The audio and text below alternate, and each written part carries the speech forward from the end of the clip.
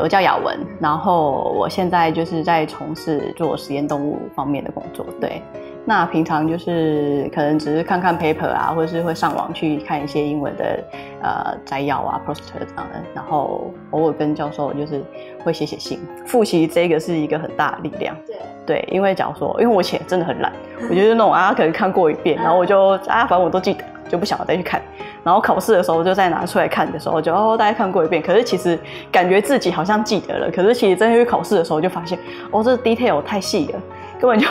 只是看过而已，但是其实没有进到你的那个长期记忆里面。对啊，那就是用攻其不备，然后这样子一步一步读，然后每天复习复习。因为我就会发现说，其实你每一堂每一堂每一堂学习的东西都不一样，就是帮你打的基础也不一样。就是一个文法解说，因为有时候我我们我，就是高中毕业之后就很少再接触文法这种东西了，那就是点进去之后发现，哎，它的解说很详细，然后它还有例句，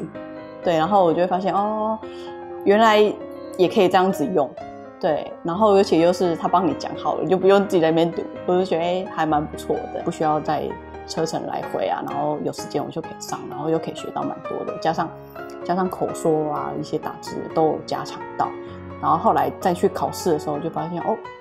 好像进步蛮多，就是自己也吓到。